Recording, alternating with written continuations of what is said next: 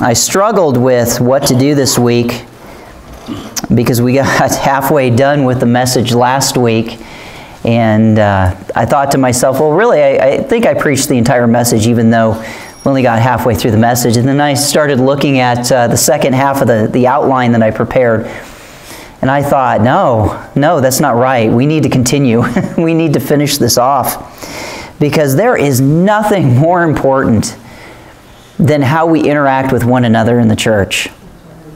And when I say that, obviously, honoring and glorifying God is first and foremost. Don't get me wrong on that. Our relationship with Christ is first and foremost. But when it comes to the interaction of the church, the way that, that the church functions, there's nothing more important than what we have here this morning. And all of us as, as the family of God, brothers and sisters, um, uplifting each other, encouraging one another. There's nothing more important than that.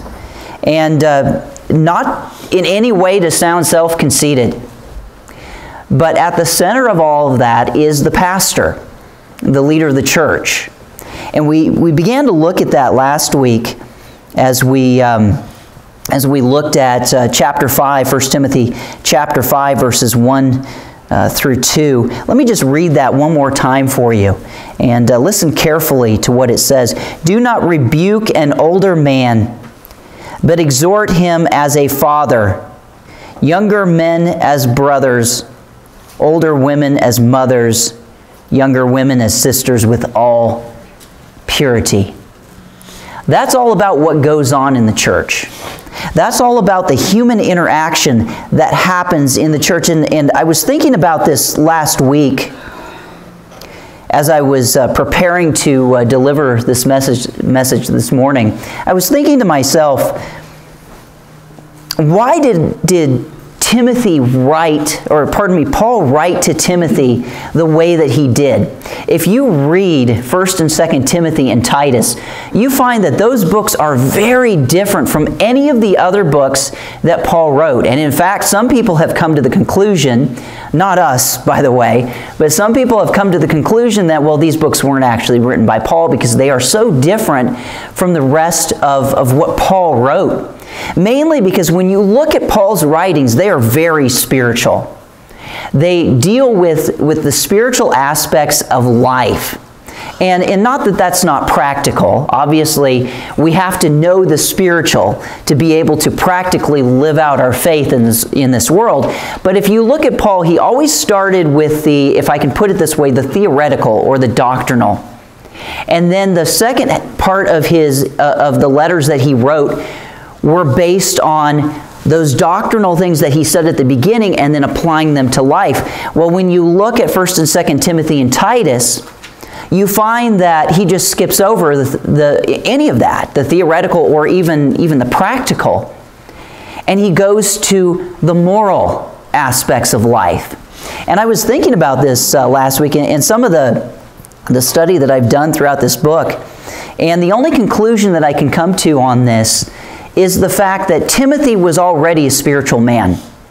Not that he didn't need to hear those spiritual truths again, because uh, actually, if you, if you read 2 Timothy, the very first thing that Paul talks about is stirring up that, that, that, that gift with, within himself, that, that, that salvation that was imparted to him at the very beginning so he did, Paul did in, in some respects give Timothy some spiritual leading.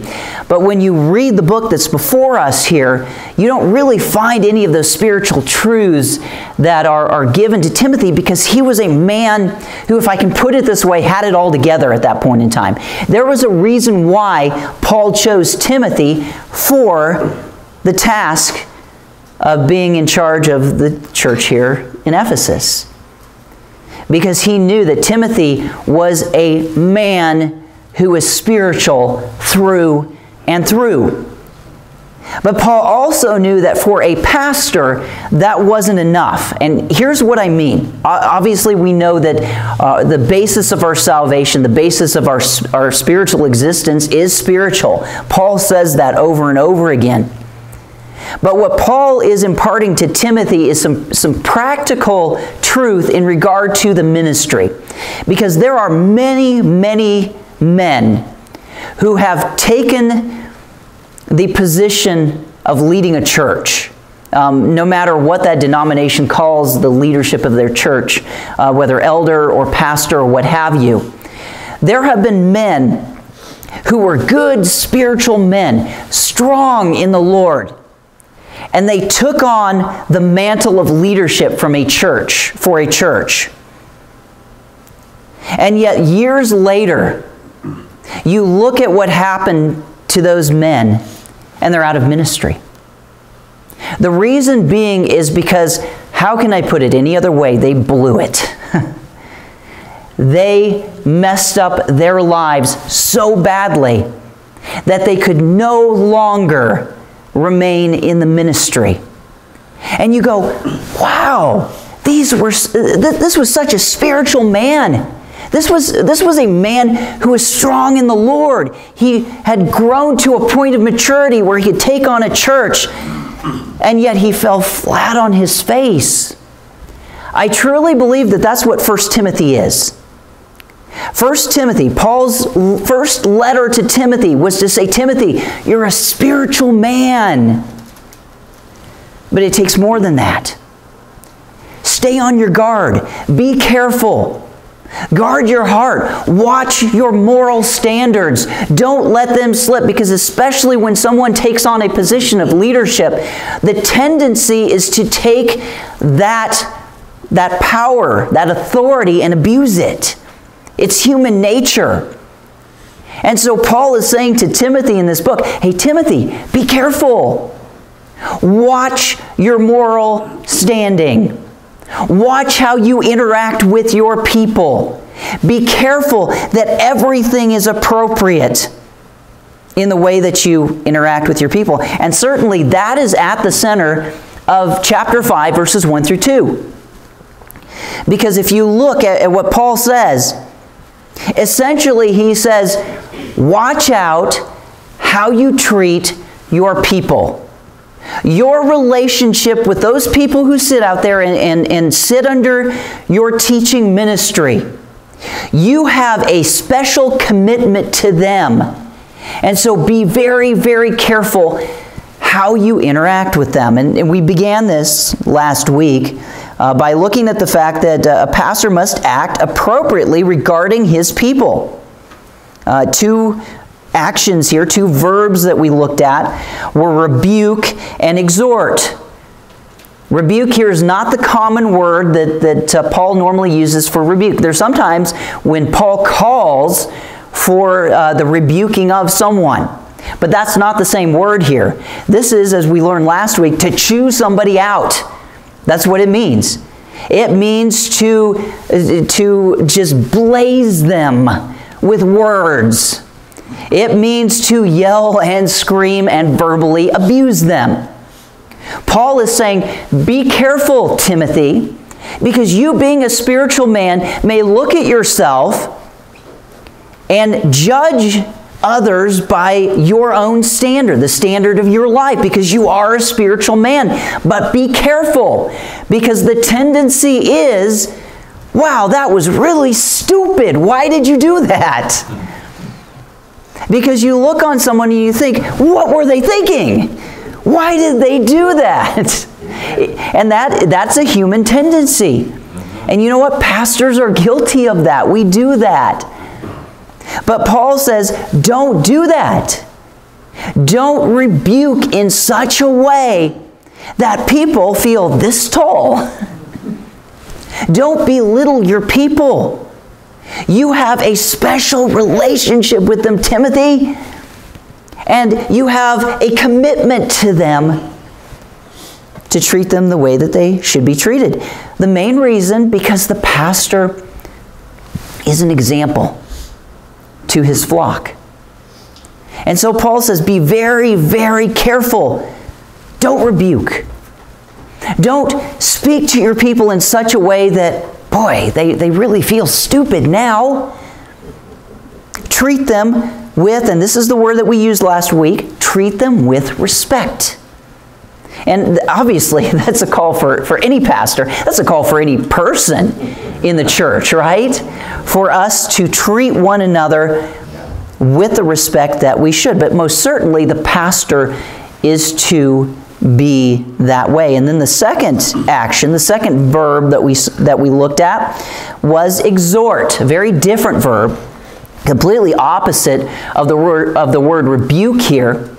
Uh, whereas rebuke shows uh, verbal abuse, this word exhort uh, sometimes takes on the meaning of comfort or encouragement, but more than likely, Paul here has in mind a, a different definition for the word exhort. It means to correct. But it doesn't mean to correct in a way that is blunt and in your face. It means to gently correct. So much so that you encourage people to do what is right, but in a way that is easy to accept. And so Paul says, don't verbally abuse your people, but encourage them to do right. And isn't that what a pastor is? Not just a personal example in the way that he lives, but one who may at times sit down next to another and say, hey, brother, I notice that this is going on in your life. Let's talk about this. Let's see what the Word of God says.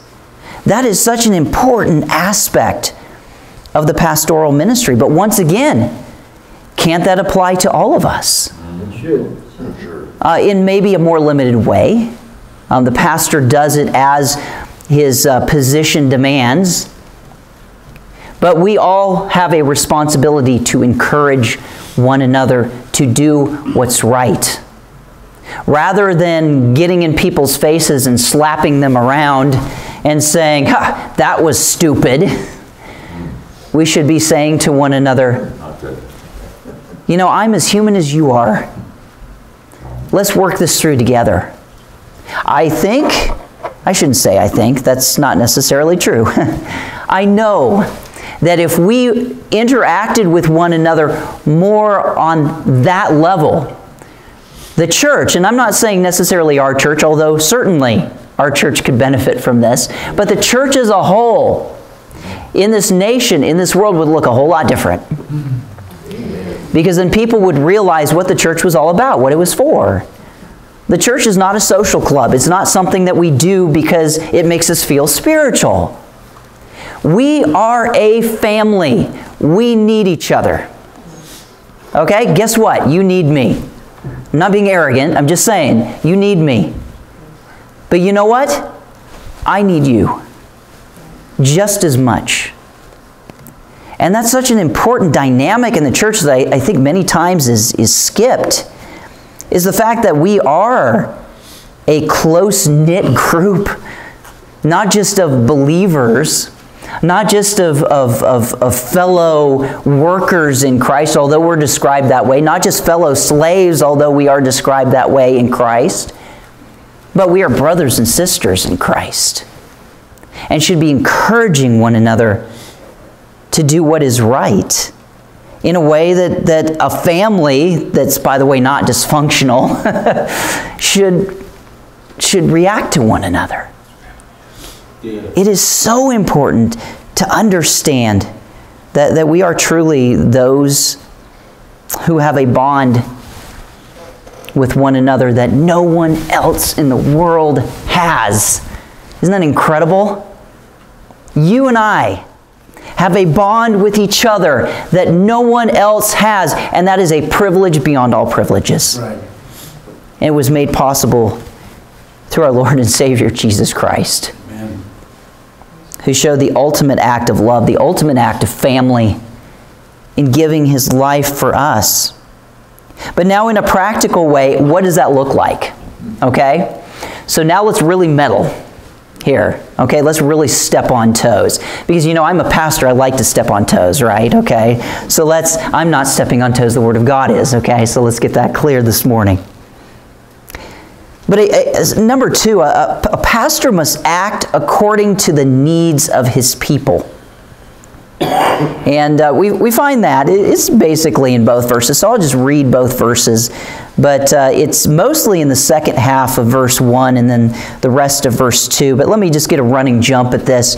It says, Do not rebuke an older man, but exhort him as a father, younger men as brothers, older women as mothers, younger women as sisters with all purity. Did you notice a connection in all of those titles? Family. Right? Family. That, that's the, that's the, the main, that's the thread that runs through every one of those titles is family. But unfortunately, too many of us think of the church not in those terms, but in, in terms of, well, hey, you know, it's important that I show up on Sunday morning. But the question is, why? It's because we are family, especially in regard to the pastor. He is the leader of that family in a, in a spiritual sense. He is the one that is setting the example for the way that, that we all interact with one another. And how is the pastor to treat his people? Once again, no shocker here. We talked about this last week. He must treat them in every way with respect. Because the pastor is not as much a leader as he is a part of the church, a member of the church. And I've said this before. The pastor, when, when any pastor, not just me, but anyone, who stands up in front of his congregation from, from Sunday to Sunday, who is in the office uh, during the weekdays or whatever else that a pastor does, whatever else pastors out there do, that is, all of that, uh, we think of that as the, the pastoral ministry, but all of that only proves one fact that the pastor is no greater than anyone else because it is my responsibility on Sunday morning to stand up here and preach to you. But it's not because I'm some special person. That's not the point. The point is, this is my responsibility. God has given me the drive, the gifting, the ability to stand in front of the people of God and bring the word. Guess what? God did that. God gave me all of that to be able to do this for you on Sunday morning. In other words, I am simply practicing my gift to you this morning. And there are others of you who this morning, at some point in time, when you arrived, you practiced whatever your gift was to another person. That's how God designed the church. He designed the church as many members. Here's another illustration many members all working as one. And we call that, as we looked at last week, the body of Christ. Now, Paul expands that idea to family. Now let's, let's get a little deeper here. Okay, we practice our various giftings to one another. Therefore, the pastor is no better than anyone else. He's just practicing his gift. Uh, those of you out there, it, no matter what your gifting is, you are no better, better than any other member. It takes all of us together to form the body of Christ so that the body works properly. But now let's look at relationship to one another. Let's look at how we should respond as one human being to another within the church. Respect. The pastor treats his people the way that God wants him to treat them. This, this, is, this is an interesting idea here um, in, in, in respect because you look at all of these categories here um, uh, older men as fathers, younger men as brothers, older women as mothers, younger women as sisters. You don't really find a correlation in Scripture where, where there is a command that people are to treat one another this way. What is, uh, what is the main designation as far as people in the church, what is the, the main designation for them in, in relation to each other? We call each one another what? Brothers and sisters, right? That's the main designation. All throughout the New Testament, you find uh, that reference. Even in the book of Acts, which is a historical book, you see people calling each other brothers and sisters. But here, notice we have four categories we have fathers, brothers, we have uh, mothers and sisters. Now, now why did Paul use this? Well, I, I, I found it intriguing because I was wondering, as I was reading this passage, I was wondering, so what was Paul thinking here? What, what dynamic changed? What was Paul, Paul's point here in using four categories rather than just the two regular brother and sister? Well, I, I came up with, with two conclusions here. Number one, uh, there was a, a societal implication to this. Because when you think about uh, ministry, let, let me just share my heart a little bit. When I am ministering to someone, I try to look at them, number one, from, from my own perspective, not, not a self centered perspective, but uh, a, a perspective of, okay, I'm a human being, just as flawed as, as they are. If I were going through the situation that they are going through, how would I react? How can I understand these people? That's a, a very important uh, aspect of, um, of deal, dealing with people on their own level uh, as far as pastoral ministry is concerned. But the reason why I do that is so I can put myself in their shoes. Because if I talk to someone a certain way, that, that's in a certain um, phase of life, let's put it that way, uh, a certain stage of life, I may speak to them incorrectly if I don't put in context what they're going through and who they are. I believe that's truly what Paul is, is, is saying here. There's a societal implication to saying, okay, Timothy, you're a young man. And remember what Paul said before. You're a young man. Don't let anyone despise your youth. But the problem with that is those of us who are young have a tendency to have that, that youthful exuberance. And we tend to go a little overboard on that. And so what we, what we do is we talk to everybody just like they're young. But I guarantee you, a pastor who does that will have difficulty with certain groups of people in his church because not everybody reacts the same way to the same uh, message delivered in a certain way. And so Paul here says to Timothy, when you deal with your people, deal them deal with them respectfully. Society recognizes that those who are older should have more respect. So deal with them so that the older members of your congregation will listen to what you have to say.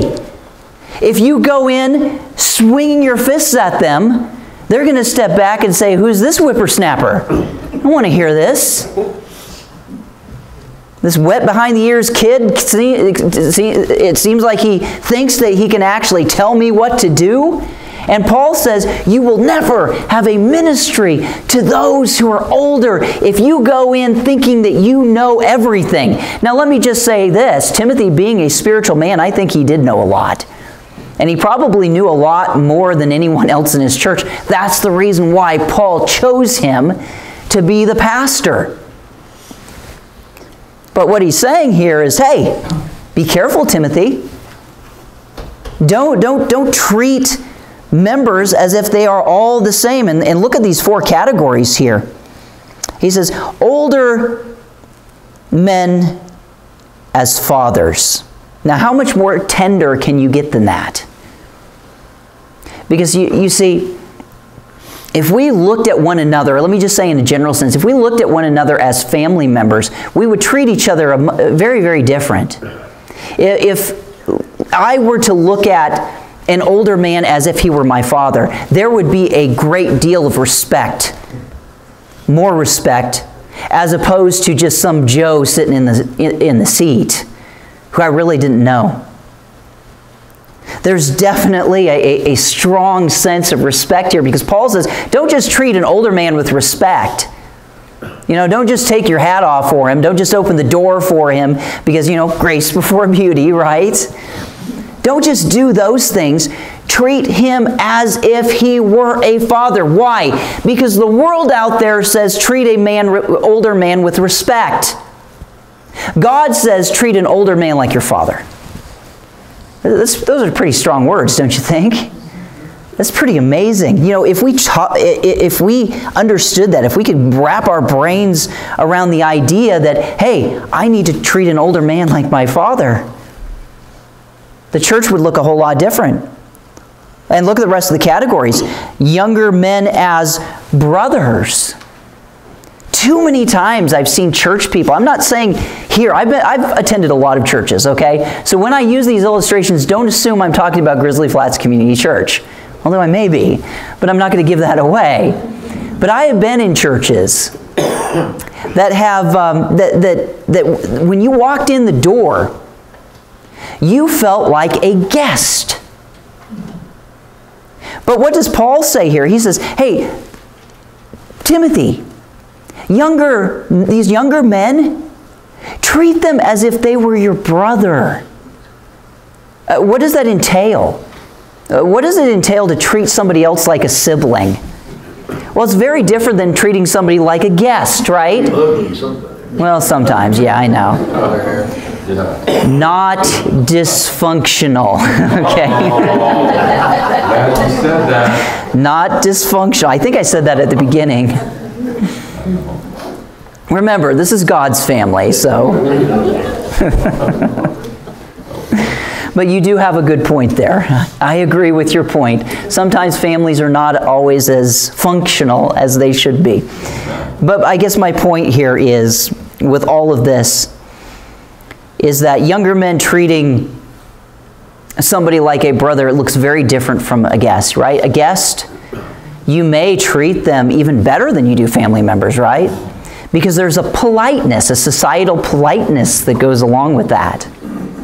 And so you don't feel as comfortable, say, speaking the truth in love with, with somebody who's a guest as you do with somebody who's a family member. See, there are two sides to this. This is not just, oh, we need to just treat each other with love. Okay? And you know what I mean. I don't mean love, I mean love. Okay? There's a difference there, okay? Did you catch the difference? because love sometimes looks harsh. And I don't mean harsh in the sense that we talked about rebuking, but harsh in the sense that sometimes there needs to be correction that goes on.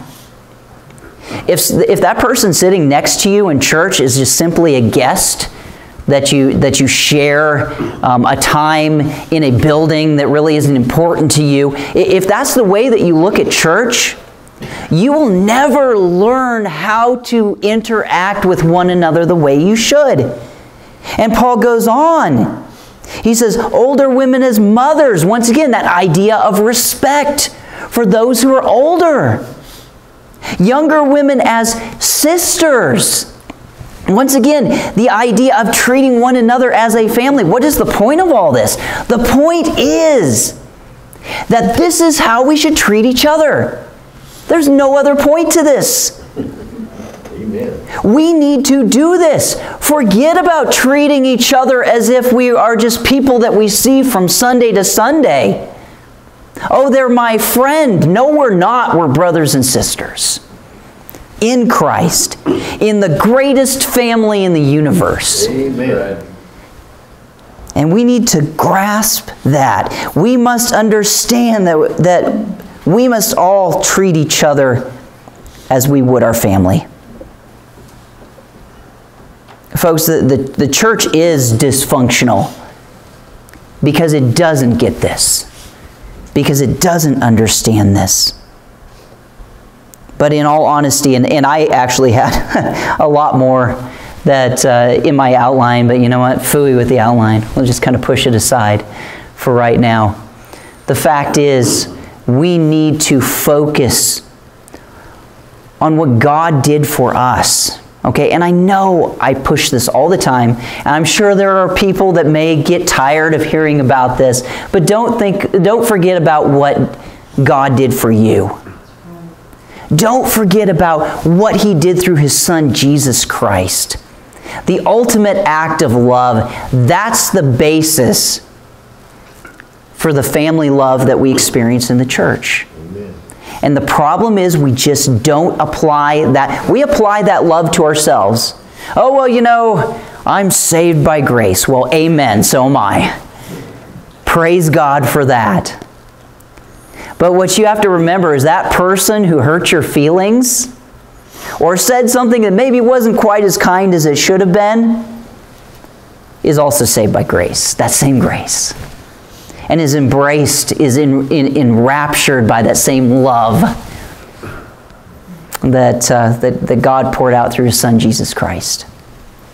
Uh, that's the basis um, of the family of God. And, uh, you know, I find it incredible when I find verses like this uh, Ephesians chapter 5, verse 25.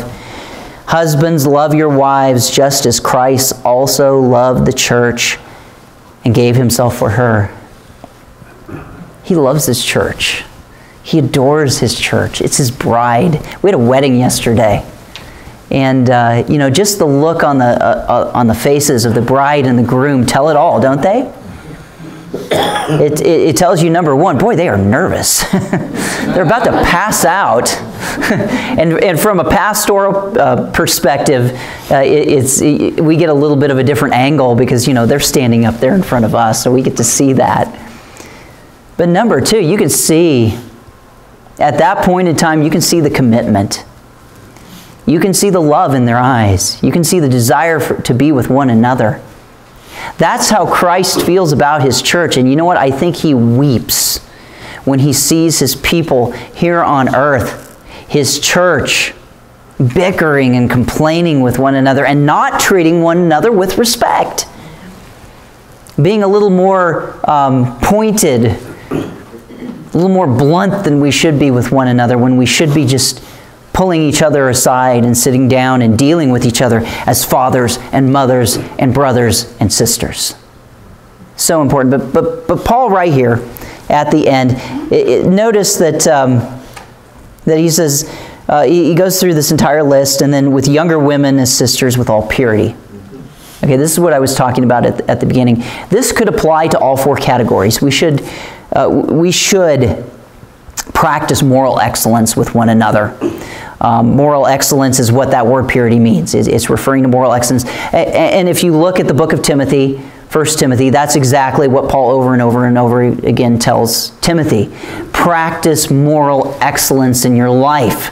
You're already a spiritual man. Don't fail morally. Be careful of that. But here, Paul applies this specifically to younger women and sisters. And, uh, and, and I think he applied this only to this category for this very reason. This is the category where pastors, for some reason, have the greatest difficulty in their ministries. I know pastors who did a terrific job pastoring their church until another woman in the church got, caught their attention. And it ruined not just their ministries, but their entire lives. And Paul tacks this on to this category, younger women as sisters, because there needs to be a special purity in between the pastor and other women in the church. Because, I mean, frankly, ladies, if, if you are my sister, I better treat you like a sister, right? and really, that goes, uh, that, that goes even beyond that, in that goes uh, along with any male female interaction in the church because we are sisters and brothers of one another. And we need to treat each other that way, not just in, in, in the relational sense, but also in, in, in our own minds, especially guys, us, the way that we interact with other women in the church. We need to be very careful how we direct our, our, our actions, our thoughts, and our words toward them because the churches have been destroyed by moral impropriety. And you know what I mean by that. See, if we treat each other with the respect that we deserve, guess what happens to sin? Out the door. Because if we treat each other with the respect that we should, our own personal lives will benefit from that and we will live the way that we should. And that's really what Paul is saying here. Paul is saying to Timothy, hey, Timothy, you want a healthy church? Show them what a healthy person looks like. They're a family member who treats, treats the other family members with respect in every way. Now, let me say this easier said than done, right? because some of us don't see each other from Sunday to Sunday. And you know that may need to change, right? Because if we're family, then, then we should be communicating with one another.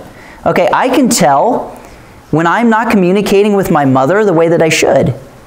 You know why? I get phone calls.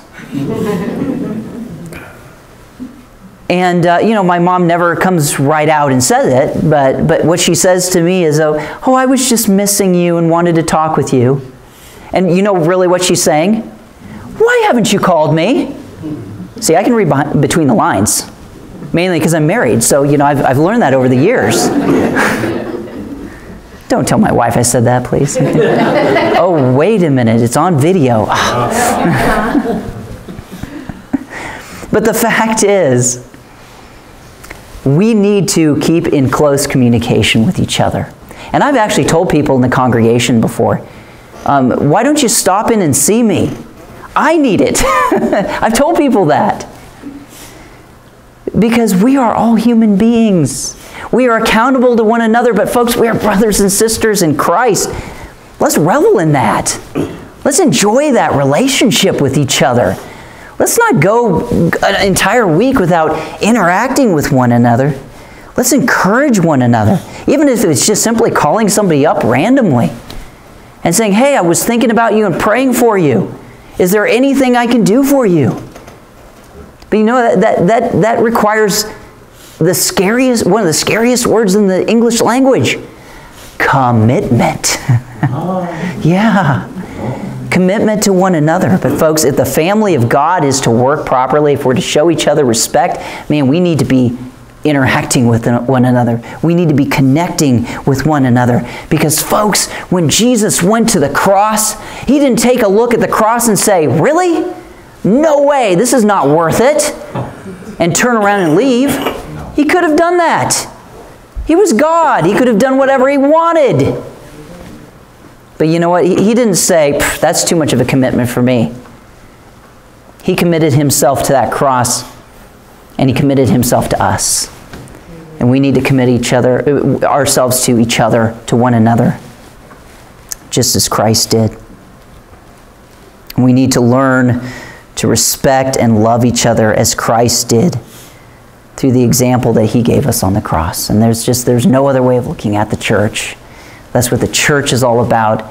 Let's love each other as brothers and sisters. Let's respect each other as, as fathers and mothers and brothers and sisters as a family of God.